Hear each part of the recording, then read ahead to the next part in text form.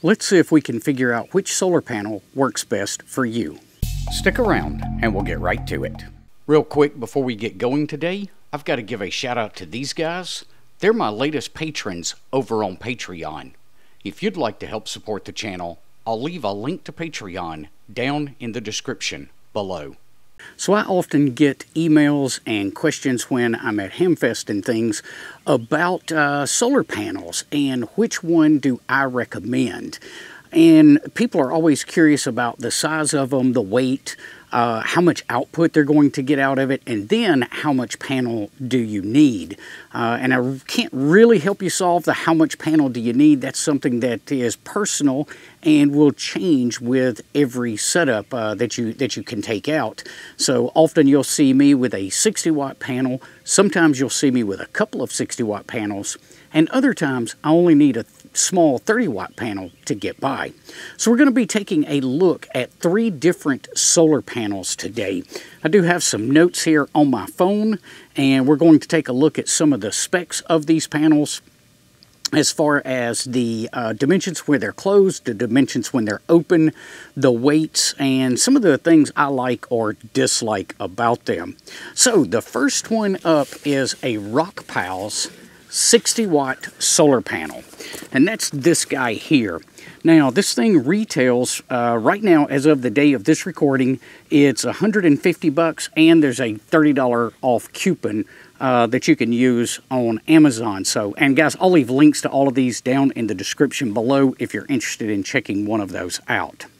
Uh, closed up, this one is 14 inches by 14 inches. When it's opened, it's 14 inches by 44 inches, and this is the heaviest one of the bunch, coming in at 6 pounds and 5 ounces. Now, the main reason I bought this one was it has built-in kickstands. Uh, after it came in and I got to playing with it, it's a little too heavy really for ham radio use uh, in, in the way I like to work portable radio. So this is a good panel. I definitely like this panel, but it's going to be reserved more for the RV and I'm going to use it as an additional 60 watt panel when we're out and about with the RV. One of the things I really like about this panel that the others do not have is this one comes right out of the box with power poles. And the others I had to modify with uh, modify the cables to get power poles on them. Now for output you've got a small little black box. Hopefully you guys can see that right there. And on that you've got a couple of different connectors. You've got uh, two USB-A and one USB-C as well as a DC output. Uh, it's a barrel jack connector output. So it's got plenty of uh, connections on it that you can charge pretty much anything you want to. We are taking a look at the Rockpals 60 watt solar panel and we're getting about 2.1 amps from this one. Next up, let's talk about the PowerFilm 30 watt panel. Now, this is the only uh, 30 watt panel in the bunch. So when we're doing the output eh, or looking at the output of this panel, we're gonna have to double that number so that we get a fair comparison uh, between all three of these panels. This one though, uh, closed up is 13 inches by 8 inches. When it's completely opened up, it's 25 inches by 41 inches and it weighs one pound and 15 ounces. Now, that is the lightest one of the bunch. PowerFilm makes a fantastic panel. The downside to the PowerFilm is always cost. Uh, right now, the 30 watt panel retails for $468. Uh, if you want the 60 watt version that would be comparable to the other two panels in this bunch today, then you're looking at $859. The prices of these have really gone up. Uh, in the last couple of years. When I bought this 30 watt panel, I thought it was expensive then, and I only paid 300 bucks compared to uh, today's prices that's a bargain.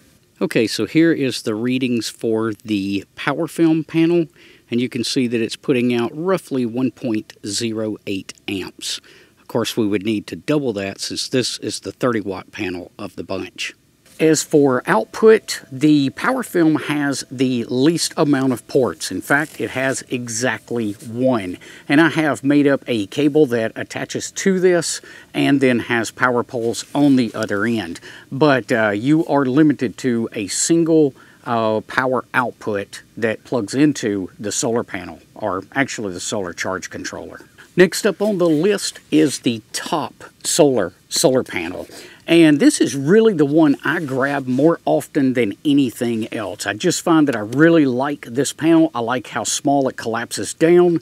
Uh, and I like the output, the higher output levels uh, of this panel. Closed up, this one comes in at 8 by 10 inches. Fully opened, it is 20 by 38 inches. Uh, it weighs in at 4 pounds.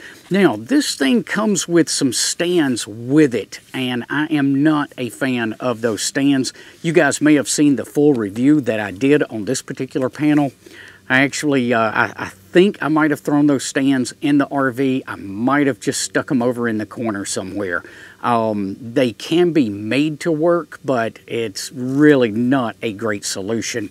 This is the second version of this particular panel. I also have the first version that I bought roughly two years ago and have been very, very pleased with it. That's why I bought the second panel. Now, for price, this one is uh, the best price of the bunch. Currently, on Amazon, this one is 99 bucks out the door. As far as power outputs on it, you've got a DC 19 volt, you've got a USB A, a USB C, and a DC 14.4. The 19 volt is the one that you use to connect to the solar charge controller. And now we are looking at the top solar 60 watt panel and you can see that it's given us about 2.41 amps. Now for a size comparison, with these all three laying side by side, you've got the TopSolar on the left, the Rockpals in the middle, and the PowerFilm on the right hand side. And then the three of them laying side by side while closed up. Again, we've got the TopSolar panel on the left, we've got the Rockpals in the middle, and we've got the PowerFilm 30 watt panel on the right. So what's my opinion of the three panels? Well, of the three, my least favorite is the Rock Rockpals. Not that there's anything wrong with the Rock Rockpals panel itself. I do like the kickstands that are built into it, but it's just overall too big, too bulky, and it weighs too much. Uh, I get, you know, roughly the same output as with the TopSolar panel, which packs up uh, much smaller. Downside to the TopSolar is that I don't have the built-in stands that come with it and the ones that uh, do come with that particular panel I'm just not a fan of. If I could pick any of these panels, it would definitely be the PowerFilm panel. I love that panel. There are a couple of drawbacks to that. First, price. Uh, PowerFilm panels are ridiculously expensive and it's hard for a lot of us to justify the price of those panels. Second is they're flimsy, so you can't stand those up somewhere like you can the other two panels. You either have to lay that flat on the ground or you've got to find a surface that you can hang that panel up against. So uh, I know in the past when I've been at field day and using that panel, I have either laid it across the windshield of the vehicle or I've laid it, um, or I'm sorry, hung it off of the roof, like off of the uh, cargo rack on the side of the car. Both of those methods work well. The PowerFilm panel is more efficient than the other two, and that really comes into play early in the mornings and late in the evenings when we've got that uh, low sun angle. The PowerFilm is going to outproduce the other two panels, but at the cost I'm not sure it's really worth it. I just don't think that uh, you can really justify it uh, for that price point. If you're looking for the lightest weight panel though, well there's no other way to go besides PowerFilms. So guys, I hope you find this information helpful and I hope it helps you to make a decision on which panel will work best for you.